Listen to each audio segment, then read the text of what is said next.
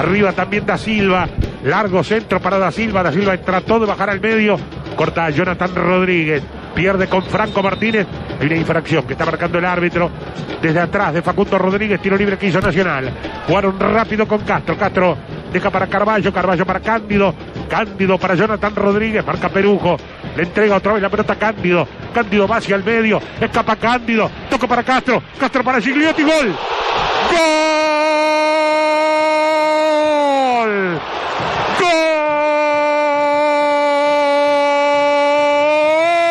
De Nacional Gigliotti.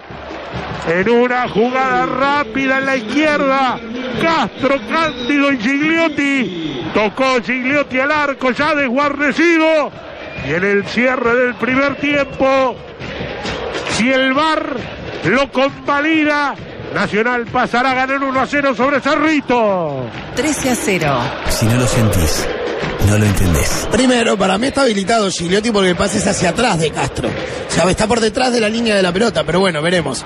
Segundo, al fin alguien que rompe, que quiebra en el partido, Cándido hizo un cambio de ritmo, se metió entre dos jugadores de Cerrito y cambió el ritmo del partido y dejó a todos mal parados para encontrar la brecha que no había encontrado el tricolor y anotar un gol fundamental por el momento, en el cierre del primer tiempo, en los nervios creciendo, en el 0 a 0, termina encontrando el gol.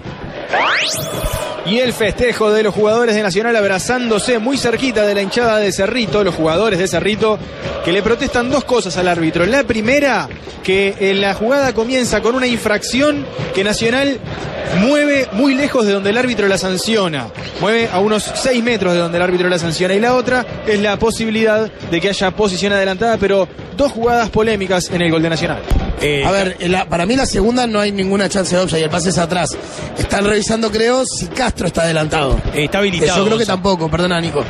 Sí, eso, está habilitado. Para mí, la- la- la- las dos posibles posiciones adelantadas están habilitados. Yo estoy contigo también, ¿eh? Fruta acá. La pasta fresca es un excelente alimento. Comprar en la fábrica de pasta de tu barrio o en la pastería. Avenida Italia y Comercio, de camino a casa. Largo pelotazo, terreno de Cerrito, despeja Velázquez. Fuerte remate, 37 y medio, saca la borda de cabeza. La va buscando cerca del círculo central.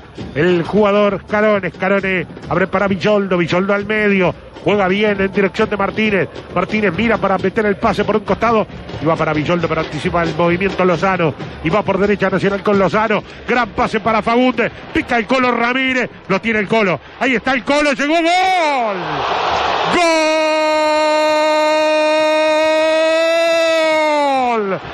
Nacional, el Colo Ramírez. Y van los suplentes a encontrarse con el Colo Ramírez, que al fin se encontró de cara al arquero y definió abajo a la izquierda para marcar el segundo y liquidar el partido. Juan Ignacio Ramírez, minuto 42, Nacional 2, Cerrito 0. 13 a 0. Si no lo sentís, no lo entendés. Amagó, amagó, volvió a amagar todo el segundo tiempo y al final en los descuentos lo liquidó. Nacional cierra el partido y sobre todo recupera al Colo Ramírez que la manda a guardar para afirmarse y levantar el ánimo. Y el otro día discutieron, pero ahora Fagundes se la dio al Colo para que convierta su primer gol después de octubre, desde octubre de 2021, me decía el seño que no convertía, y fue Fagundes, con quien discutí la vez pasada, que le dio el pase, por eso el festejo fue ir a abrazar al 32 de Nacional, y se abrazaron, y se abrazaron, y se abrazaron, y se quedaron abrazados durante un largo rato, cuando Prepara su última variante, ingresa con la número 26, Michel Sosa, se va Maxi Calzada, y en Nacional ingresa con la 10 Leandro Tormín y se va el colombiano Alex Castro.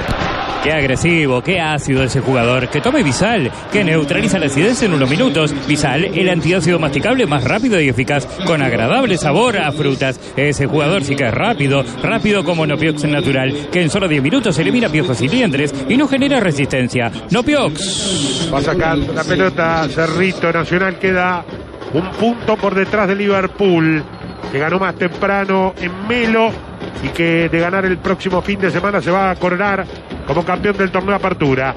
La va, tocando por derecha. eh, Cerrito, la pelota larga que corre Escarone, cierra Coelho, amaga para un lado y para el otro, da la vuelta a Coelho, Coelho deja atrás para Roget.